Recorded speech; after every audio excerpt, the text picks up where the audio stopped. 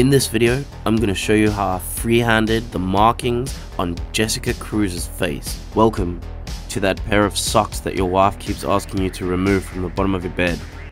And in today's video, I'm going to show you how I painted the markings on Jessica Cruz's face. Have to use this thing, and I still haven't got a stand for it yet, so we hold it like this now. This is how we roll.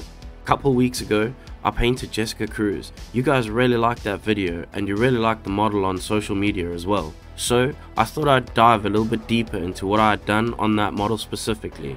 I'm gonna go over just the face. It's not gonna be a long video, but it's gonna be worthwhile if you wanna know how I did those free-handed markings.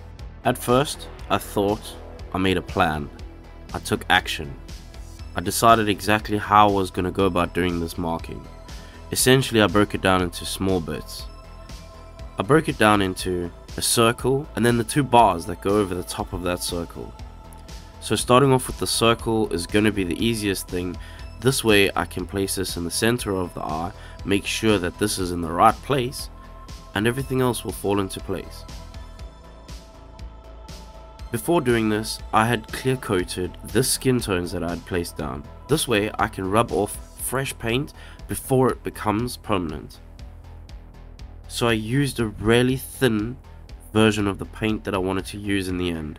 And this is because I can rub this off if I made any mistakes. And slowly but surely, I made the shape of the circle of the eye and I started to build that bigger, thicker, rounder, carving the shape as I went along.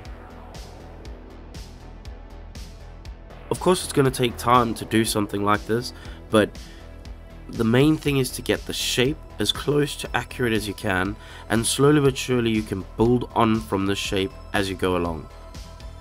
A good trick for freehanding is to make sure that your paint is flowing very well, making sure that the paint was thin enough that it flowed well enough but not too thin that it was like a water because if it was too thin it was going to run into places I didn't want it to go into but if it was too thick it wasn't going to flow as easy and it was going to make drawing essentially on top of a skin a lot more difficult than it needed to be.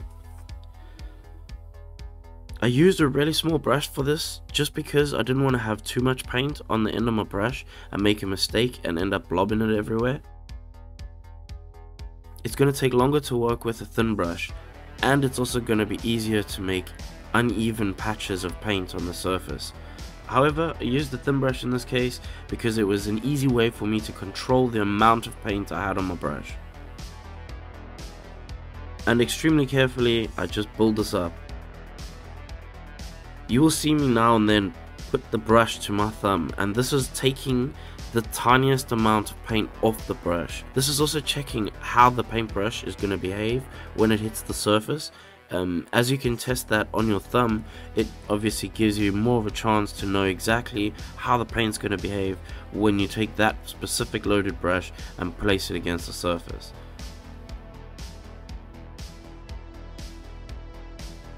As you can see, I built layers upon layers of this. In the end, it was probably around 4 or 5 layers to get the green that I wanted.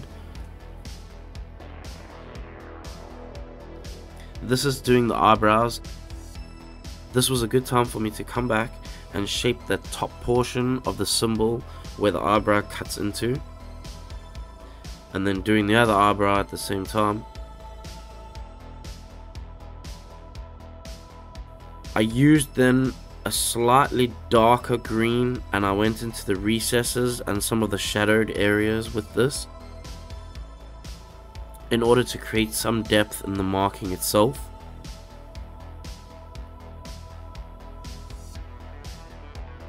Again, making sure this paint is thin, I can layer it up bit by bit to make sure that it doesn't overpower the image. I also use this to tidy up and crispen the edges of the symbol itself Using a slightly darker green than the green that I had originally placed helps to keep things look nice and crisp. You can still see me fiddling with the symbol the whole way through. I think with freehanding the thing is that you're not going to just paint it directly on, you would slowly sculpt and shape this item or the symbol that you're freehanding onto the object. So the more time you spend tidying and sculpting, the better your outcome is going to be. The reason why you use a thin layer of paint is so that you can sculpt without having a huge buildup of paint over the surface.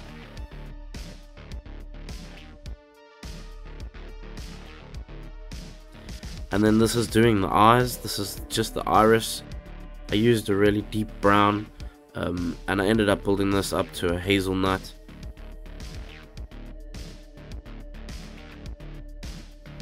Place it in both eyes, making sure that she doesn't look squint.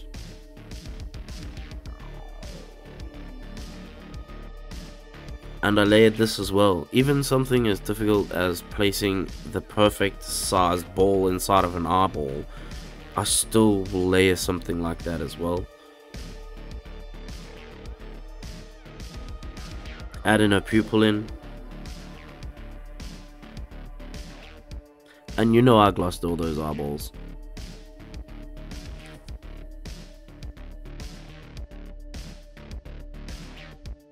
The last week has been one of the most eventful weeks for me personally, as I stayed in bed for at least 3 days with a fever and nearly died and that's probably the last time I'm ever gonna go and socialize ever again. That being said, I'd like to thank the new patrons that we gained over the last week of my nearly death. Those new patrons are Nicholas Wester and that filthy drummer Phil. I have mentioned this in the Patreon's Discord group before. We are working towards putting some money aside to have a custom sculpt made specifically for our Patreon and this will be a reward which I'll give out as soon as we meet the goals that we need to meet. I hope that the video gave you some insight on how to do a specific technique that you may not have known how to do yet. And if it did, please be sure to give it a like. And the best way to share it amongst your friends is to click the share button, copy and paste that little URL and send it over to your best bud. You know your friend wants to know how to do it, and he probably wants his friend to know how to do it too. At the same time, while you're down there, make sure to click the subscribe button.